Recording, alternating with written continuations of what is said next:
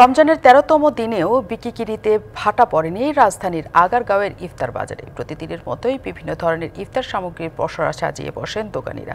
পাশাপাশি ক্রেতাদের নিরাপদ খাদ্য নিশ্চিতে ইফতার বাজার তদারকিতে মাঠে ছিল নিরাপদ খাদ্য কর্তৃপক্ষ। রাজধানীর আগারগাঁওয়ের ইফতার বাজার।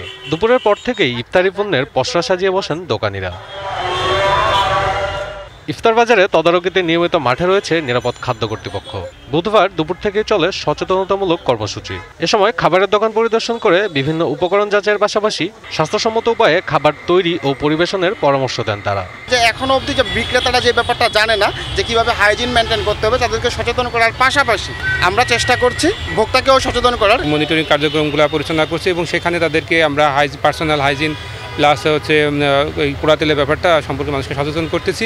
বিক্রেতারাও বলছেন নিরাপদ খাদ্য কর্তৃপক্ষের অভিযানের ফলে ইতিবাচক প্রভাব পড়েছে বেচাকেনায়। ক্রেতাদের কাছ থেকেও ভালো সাড়া পাচ্ছেন তারা। প্রথম থেকে আমাদেরকে মাস্ক খাদ্য ঢাকার জন্য তারা আমাদের পরামর্শ দিয়েছে। আমরা এটা ভালো একটা ফিডব্যাক পেয়েছি কাস্টমারের কাছ থেকে। হাইজেনিক যেটা মেনটেন করতে বলতেছে আমরা এটা করতে চেষ্টা করতেছি। ক্রেতাদের মধ্যে নিরাপদ ও স্বাস্থ্যসম্মত খাবার নিয়ে কিছুটা সংশয় থাকলেও এসব দোকান থেকেই ইফতার সামগ্রী কিনছেন তারা। কিছু কিছু জায়গার পরিবেশ খুবই সুন্দর। আর কিছু কিছু জায়গার পরিবেশ ভালো লাগে না।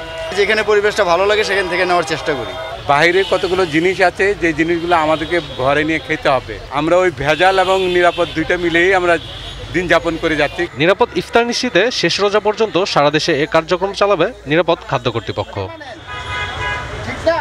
Sabbir Roj DBC news Dhaka.